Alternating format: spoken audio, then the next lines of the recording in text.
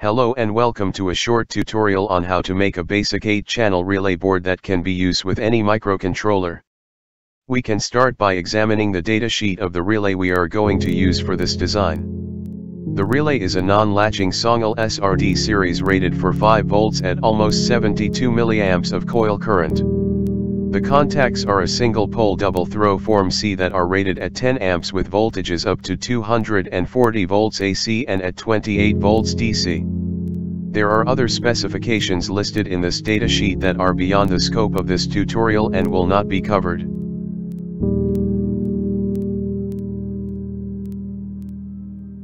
We begin by creating a project in Eagle and thereby creating a new schematic and naming it Basic 8-Channel Relay Board. After the schematic has been created, we can start to add the components to the design. I specifically created a library that will yield a board with mounting holes measuring 100 mm by 100 mm. These dimensions are the maximum size the boards can be and still cost just $13 for a set of 10 boards from PCBWay in China. Now we add a frame to enclose the schematic and at the same time, add a schematic, PCB and assembly number.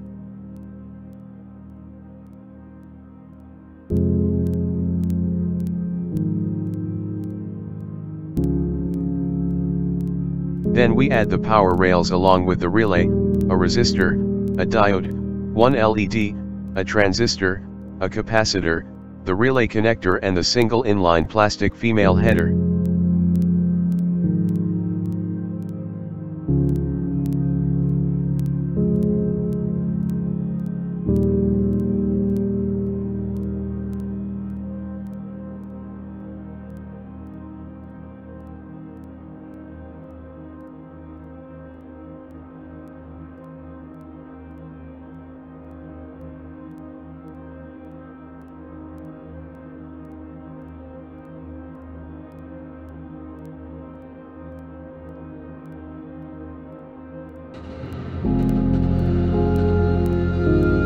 Once this has been added, then we can arrange the components on the board and make our connections.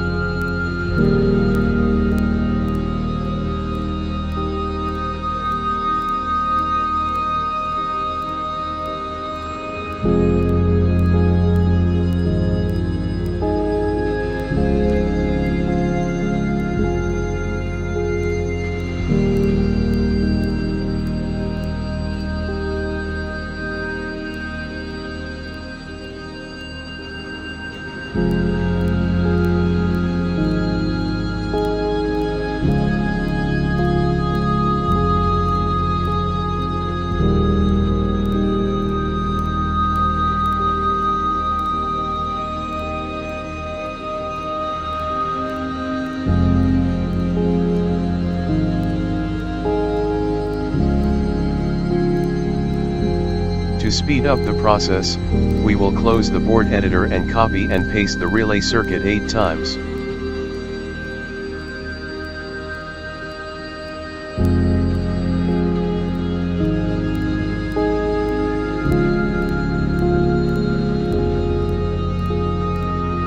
Then we will reopen the board editor and close the schematic editor and copy and paste the component layout 8 times.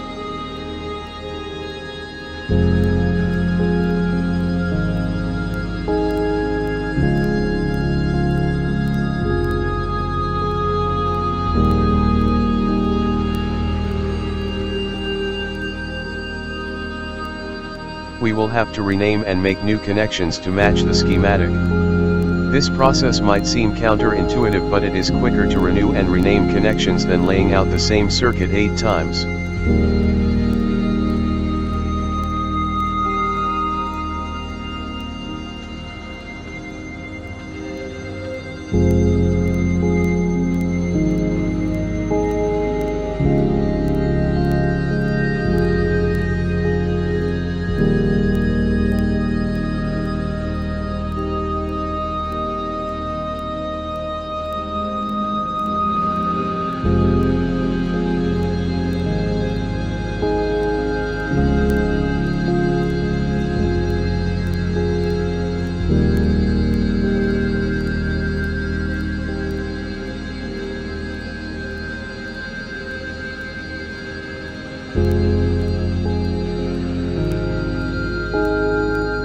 Now that our board and schematic are consistent with one another, we can start to add levels and manually route the board. We can begin by doing the simple short traces and the positive rail.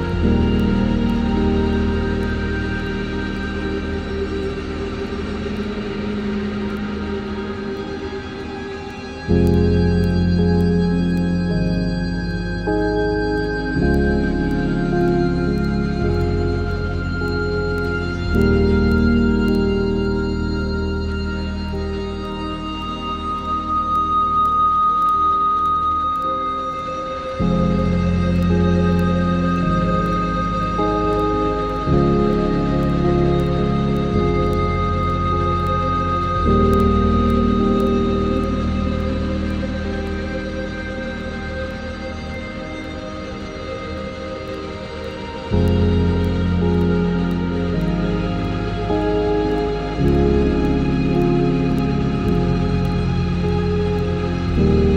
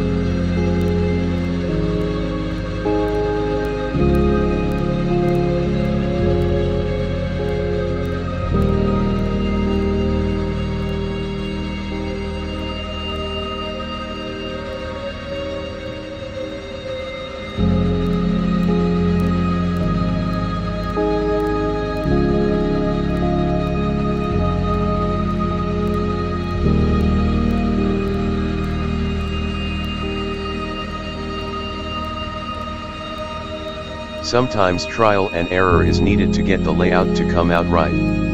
I had to rip up the signal traces a few times to make it all work and give it a clean and neat look.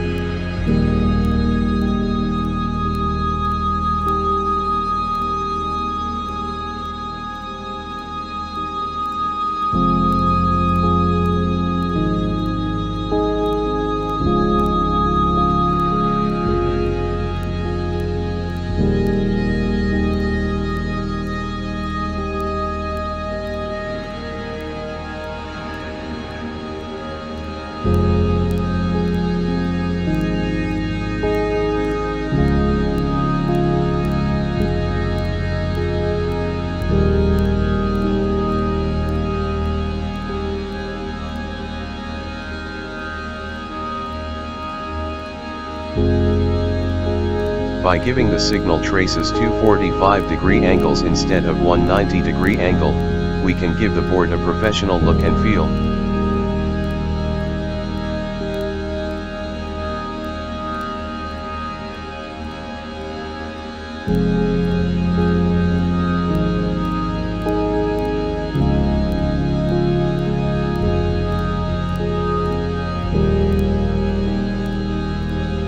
Last but not least, we adjust the text on the silk screen layer and generate the Gerber files for manufacturing.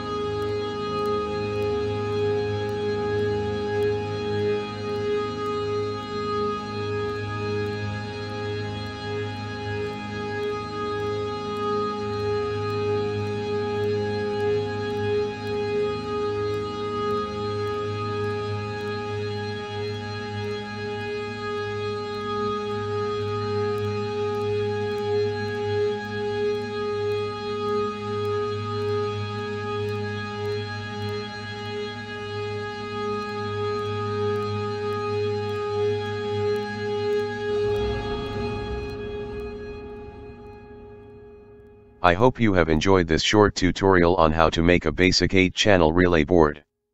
Thanks for watching and don't forget to like, comment and subscribe.